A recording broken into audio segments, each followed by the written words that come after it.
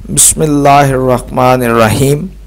असलकम ख़वातिन हजरात, आप देख रहे हैं गमाज टी वी और मैं हूँ आपका मेज़बान अमीन हजरा।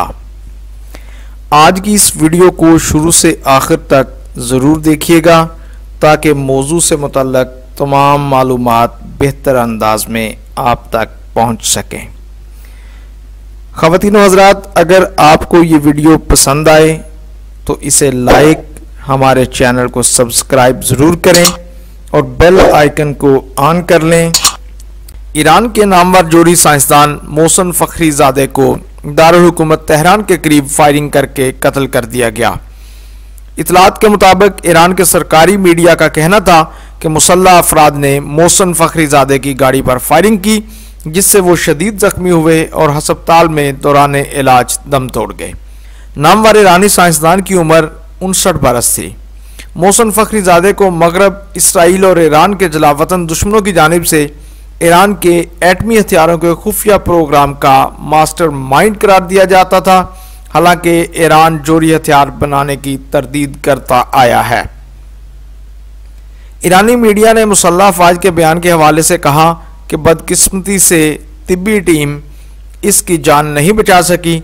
और चंद लम्हे कबल मोहसन फ़खरीज़ादा ने कई सालों की मेहनत और जदोजहद के बाद शहादत का आला मुकाम हासिल कर लिया। ईरानी मीडिया ने मुसल्ह अफवाज के बयान के हवाले से कहा कि बदकिस्मती से डॉक्टर्स की टीम इनकी जान नहीं बचा सकी और चंद लम्हे कबल मोहसन फ़खरीज़ादे ने कई सालों की मेहनत और जदोजहद के बाद शहादत का आला मुकाम हासिल कर लिया।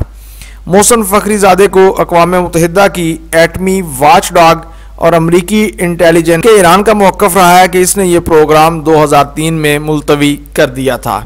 मोहसन फ़खरीज़ादे वो वाद ईरानी साइंसदान थे, जिनका नाम ईरान के जोहरी प्रोग्राम और इसके मकसद से मुतल सवाल के हवाले से बैन अवी एटमी तोानाई एजेंसी आई ए ई ए के 2015 के हतमी तजिए में शामिल था। आई ए को ईरान का जोहरी हथियारों का खुफिया प्रोग्राम करार दिया था और कहा था कि इसने ईरान की जोहरी तफसीलात के बड़े हिस्से तक रसाई हासिल कर ली है।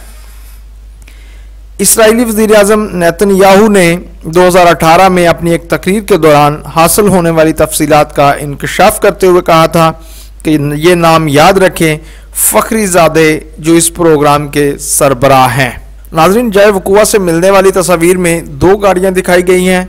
एक सामने से उड़ा दी गई है और एक पर गोली चलाई गई है, जिसमें फ़खरीजादे और उसके मुहाफ़ सवार थे।